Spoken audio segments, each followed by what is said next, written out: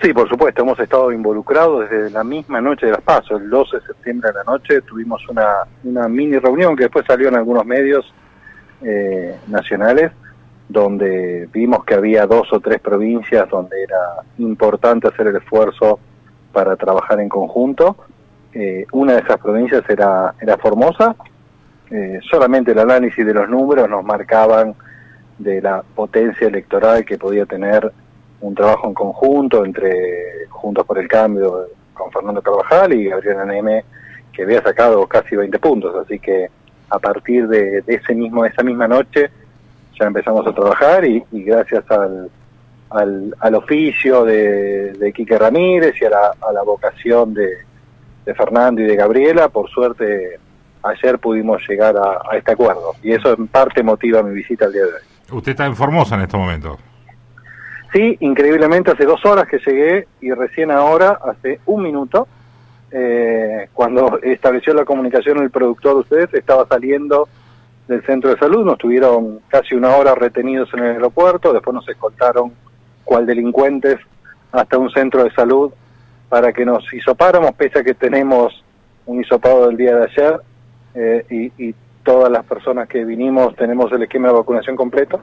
Bueno, nos trataron de casi delincuentes y nos llevaron escoltados por la policía a hisoparnos nuevamente. Así que la verdad estoy recorriendo las primeras 10 cuadras de Formosa en este momento, yendo al encuentro de Fernando y de Gabriela. Bien, ¿y qué, qué aporte, qué, digamos, desde el punto de vista político, eh, tiene el PRO para tratar de que esa alianza, ese grupo, ese dúo de Carvajal-Neme cuaje y haga una performance electoral que le permita a, la oposición tener un protagonismo político el 14 de noviembre.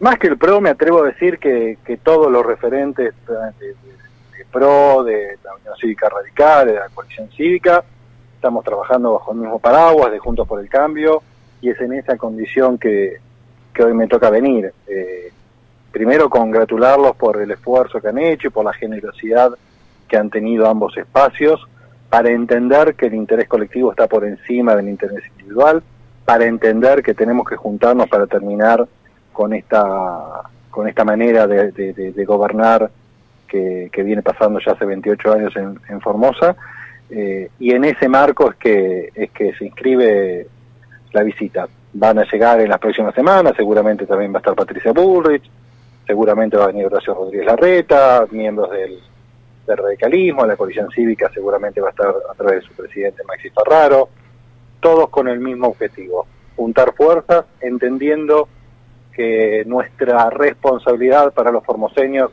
es ofrecerles una alternativa a esta manera despótica de ejercer el gobierno.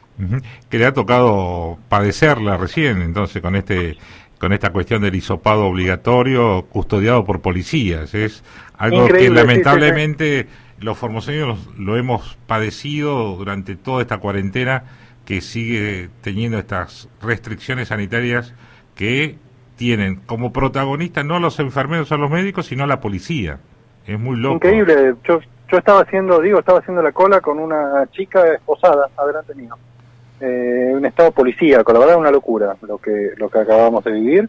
Insisto, hace dos horas que llegamos, eh, y recién ahora puedo ejercer el derecho que la Constitución argentina nos, nos otorga a todos, que es de circular libremente por el territorio nacional. Fuimos retenidos en el aeropuerto, escoltados por la policía, retenidos por la policía dentro del centro de salud, hasta que nos hisopamos nuevamente. Sí, porque eh, ir, retirarse sin eh, acatar las órdenes policiales significa ir preso. Ir preso, seguramente la pobre chica estaba delante nuestro, habrá pasado algo similar, no quise preguntar, pero sí, Estamos haciendo la cola con una chica esposada al, eh, Usted como secretario general del PRO eh, viaja por distintos lugares de, la Argentina en estos tiempos.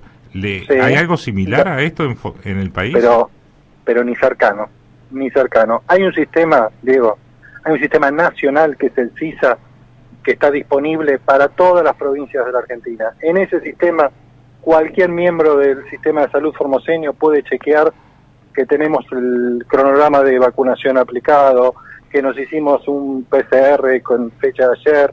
No hace falta más que entrar a una computadora para chequear que todos estos datos eran eran legítimos. Lo mismo que hacen en cualquier provincia de la Argentina, excepto en Formosa, que han decidido ser una república independiente y tener sus propias leyes, sus propias reglas, salteándose la, la constitución, decidiendo qué leyes nacionales acatan y qué leyes no. Saber surrealista esto. Y el 14 de noviembre tenemos la oportunidad de empezar a terminar con esto y por eso estamos más que contentos con, con la generosidad de Fernando y de Gabriela para decidir trabajar en conjunto.